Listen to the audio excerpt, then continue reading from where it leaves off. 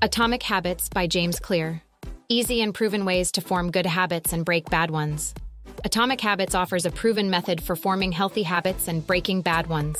It uses scientific data and real life examples to explain how small adjustments in behavior can build new habits and help you achieve large things. James Clear, an author and entrepreneur, studies habits and self improvement. Clear writes on the science of habits and human behavior in a weekly newsletter distributed by hundreds of thousands of people. He shares anecdotes from his own life and top performers in business, sports, the arts, and other fields. How does reading this book benefit you? Discover how small actions may impact your life. The author tells us that huge life changes don't require big changes, behavior modifications, or self reinvention.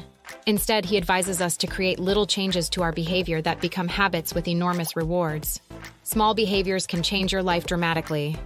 Repeating tiny actions daily leads to big outcomes. Pizza every day will likely make you fat within a year.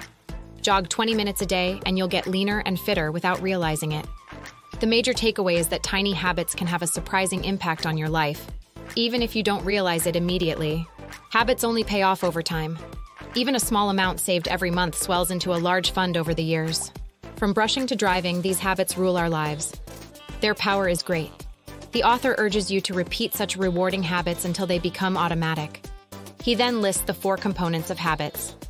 After spelling out how habits function, he talks about how to form positive ones that can improve your life. He gives tips on the habit forming process to establish excellent, effective habits if you understand how they work. Play the guitar every day, soon you form a practice habit. To form a positive habit, set yourself a clear goal and a clear hint. Sometimes it requires willpower and discipline, which not everyone has in abundance. But the rewards are abundant. When bad habits can form easily, why not healthy habits too? Forming habits will appeal to you when you're motivated by the rewards. We'll be more likely to stick to our new habit if we make it fun. Make those unappealing but vital jobs fun, and even early raising or jogging will form good habits. James Clear advises us to make a new habit easy to embrace. Making a habit enjoyable ensures its stickiness. Making habit building easy is another technique. Making our desired behaviors easier increases our chances of achieving them. He mentions friction, which works both ways. You can raise friction to kill a bad habit, or reduce friction to develop a good one. Unplugging the TV and removing the remote batteries creates friction, which kills a bad habit. In the same way, developing a good one works too. You can also run a marathon by just wearing your gear every day after work. Making habits immediately pleasurable is key to changing behavior.